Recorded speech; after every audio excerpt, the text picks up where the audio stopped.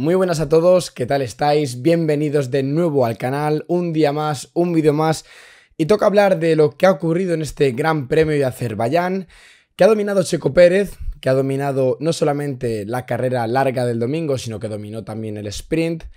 Y yo me hago una pregunta clara, como veréis en la miniatura, de si podrá de verdad pelear este mundial, ¿no? Porque yo siempre he dicho, o he venido diciendo estos últimos meses, o el año pasado incluso,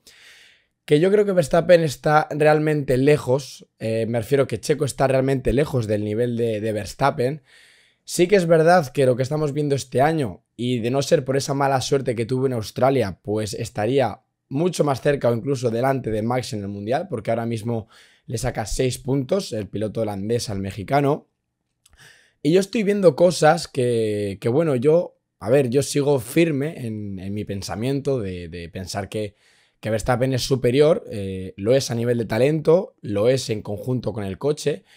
pero hay que ganar las carreras y hay que tener suerte y hay que estar ahí también. Y Checo, pues ha demostrado que en un fin de semana en el que no ha pasado absolutamente nada en el sentido de que los dos coches han tenido las mismas condiciones, no han sufrido problemas, el rendimiento ha sido el mismo, en una carrera que podrían haber pasado muchas más cosas de las que, de las que han pasado, mm, Checo ha sido superior a Verstappen y no solamente fue superior en la, en la sprint, que también ganó Checo, sino que ha sido también superior ahora en la carrera que acaba de terminar hace pues unas, unas poquitas, unas poquitas horas, ¿no? ¿Qué quiero decir con esto? Em, hay que ver cómo avanza la temporada. Hay que ver si Checo puede soportar la presión de que realmente él note que está luchando el mundial es todavía muy pronto, queda muchísimo. Y yo sigo pensando que, si llegamos a falta de cinco carreras, por poneros un ejemplo, y Checo está realmente cerca de Max, eh, que Red Bull actuará para que, para que Verstappen no pierda o, por lo que, o para que no se arriesguen a que Verstappen pierda el Mundial.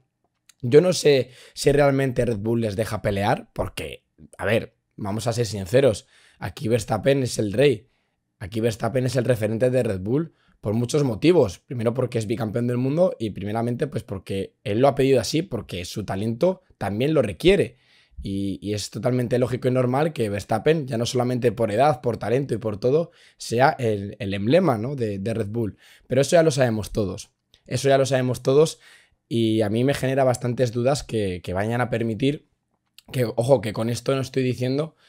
que tengan que frenar a Checo Pérez en algún momento de la temporada. Pero yo creo que, Verstappen sabe perfectamente el nivel que tiene y creo que en una temporada larga, una temporada regular, eh, Verstappen es y será superior. Yo tengo que verlo. Tengo que verlo porque a no ser que cambie algo radicalmente, la única lucha que vamos a tener por el Mundial serían, con, serían los dos hombres de Red Bull, serían con Checo y con, con Verstappen, ¿no? Porque Ferrari parece que no va a llegar y si llega será muy tarde. Mercedes todavía está un pelín detrás y Aston Martin creo que para luchar el Mundial eh, tampoco, y digo creo por no decir que no,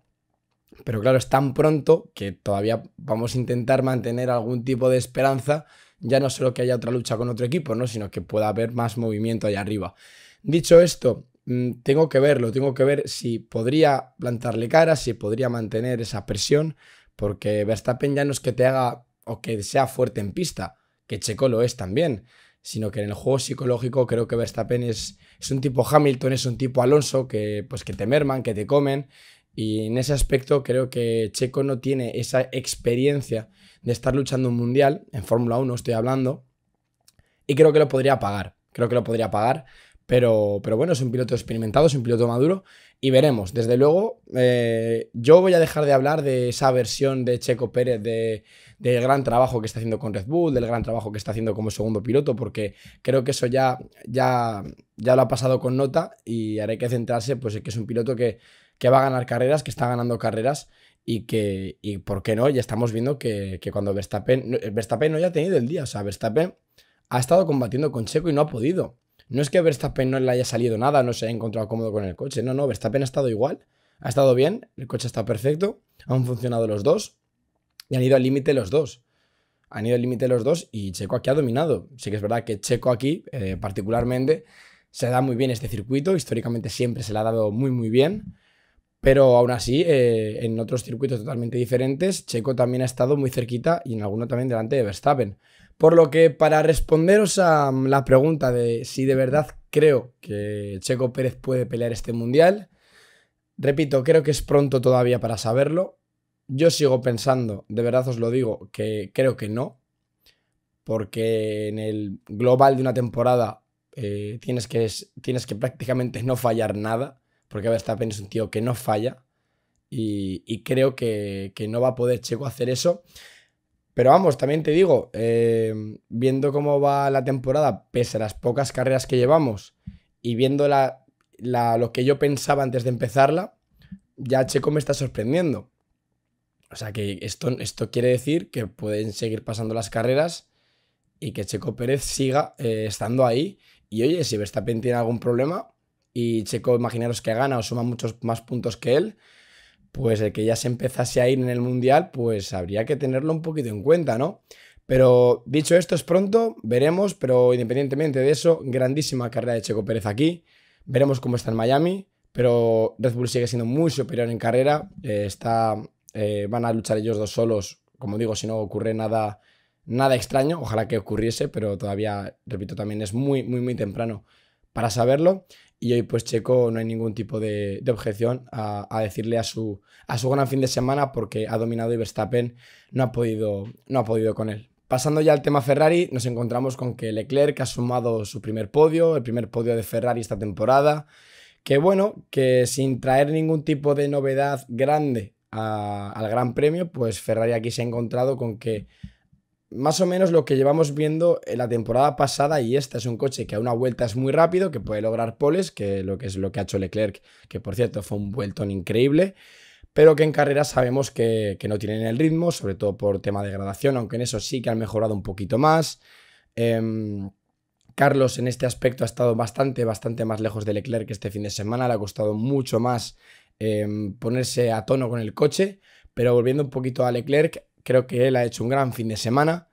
ha hecho, como digo, una gran pole y sobre todo que, no, ha podido, no ha podido extraer más ¿no? del monoplaza porque Red Bull en carrera, en el momento que lo han adelantado, mm, no ha habido, no ha habido oposición. Eh, ya no solo por degradación, que, que no tienen tanta como antes, aunque sí que es cierto que, y lo comentábamos también en el anterior vídeo de, resumen del Gran Premio de, de Australia,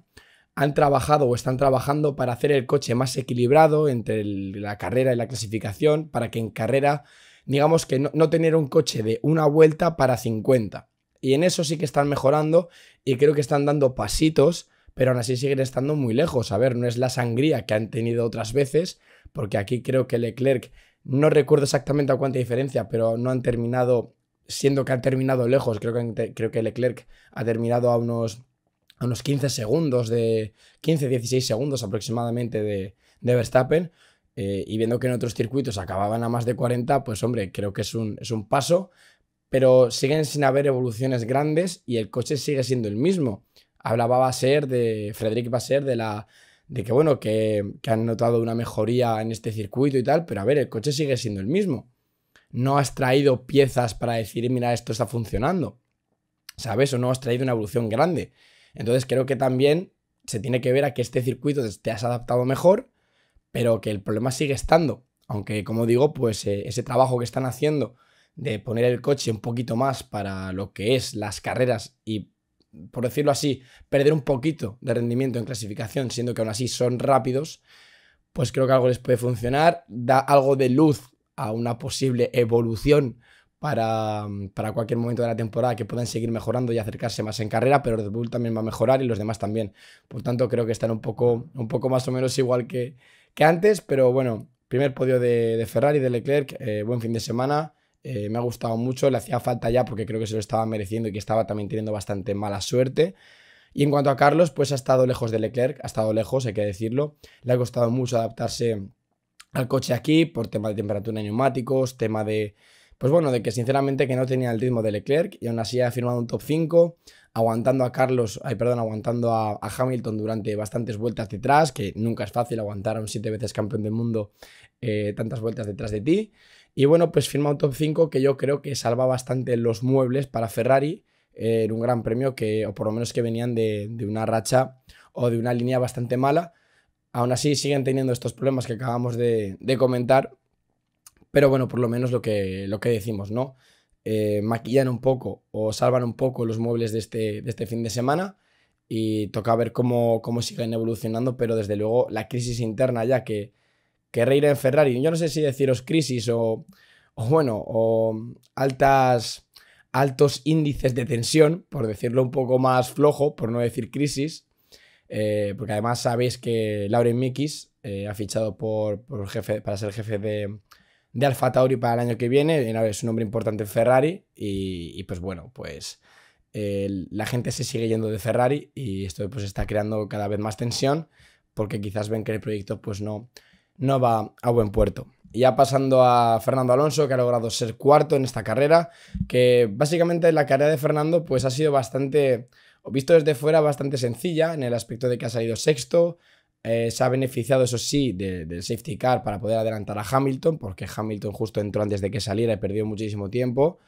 Pero Fernando ha tenido ritmo, Fernando ha tenido muchísima consistencia, ha sido un fin de semana de menos a más, eh, empezaron pues un poquito más descolgados, parecía de la cuenta de respecto a las últimas carreras que estábamos viendo, pero aún así, pues mira, te ha firmado un cuarto puesto que, que, demuestra que el Aston Martin está ahí, que demuestra que el Aston Martin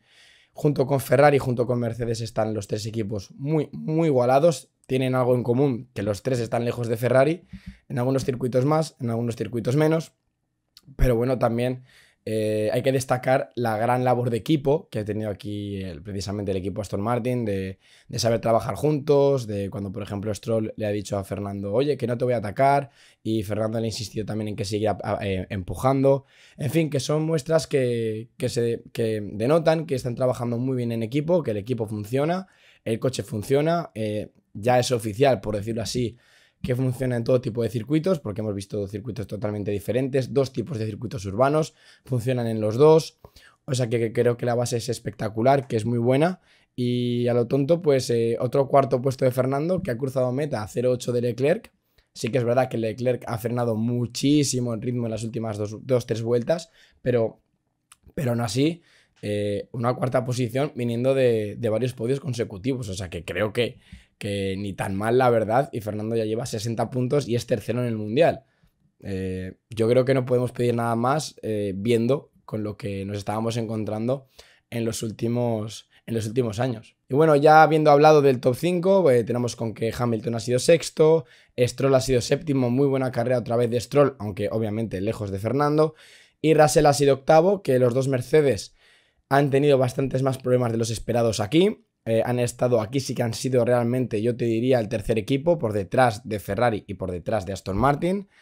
Aunque siguen los tres intercalados ahí, eh, muy cerquitas unos de otros. Y, creo que nos lo podemos pasar muy bien. Eh, sin alguna carrera el equipo Red Bull falla. Y tenemos a estos tres equipos batallando por ya no solamente ser el segundo mejor equipo, sino quién sabe, intentando luchar por conseguir una victoria esta temporada. Así que nada, hasta aquí este análisis, resumen, vídeo de opinión, blog, llamarlo como queráis, del Gran Premio de Azerbaiyán. Una carrera que no ha ocurrido realmente todo lo que podríamos haber esperado de un Gran Premio como este, en el que siempre pasan muchísimas, muchísimas cosas, pero que nos deja esta lectura de si podrá Checo Pérez combatir el Mundial, de que Aston Martin sigue siendo el segundo mejor equipo, pero que Ferrari y Mercedes están realmente cerca y en algunos circuitos, pues unos estarán delante de otros y será muy importante y fundamental las mejoras de cara a los próximos grandes premios. Así que nada, hasta aquí este vídeo, me despido ya de vosotros, próxima estación Gran Premio de Miami. Y nada, así que si os ha gustado, os invito a que os suscribáis, a que me dejéis vuestro like, porque de verdad que me ayudaréis un montón a seguir realizando nuevos vídeos. No me enrollo más y nos veremos en el siguiente vídeo. Chao.